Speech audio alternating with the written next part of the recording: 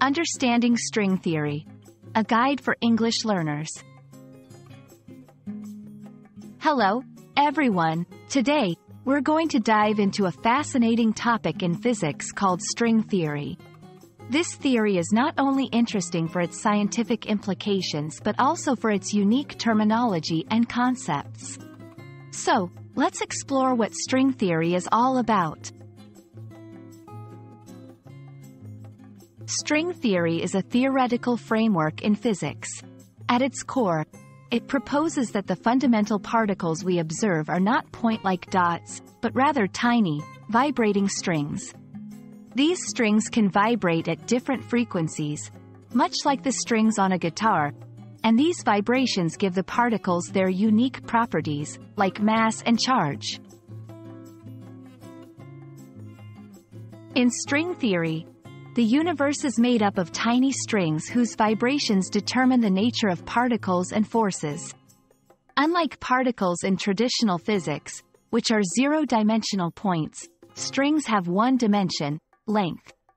This theory attempts to reconcile general relativity, which describes gravity, with quantum mechanics, which explains the behavior of particles at the smallest scales.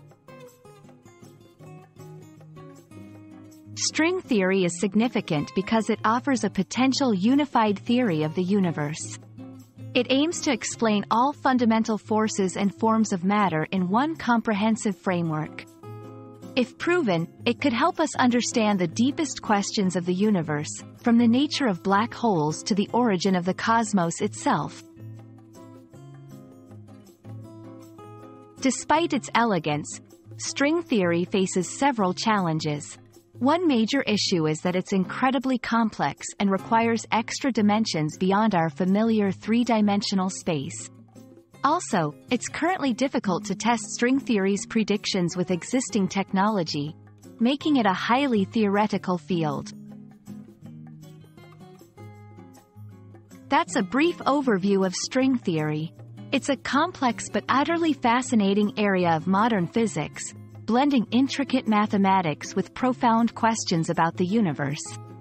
I hope this video has been enlightening and sparked your interest in this intriguing topic. Keep learning and stay curious.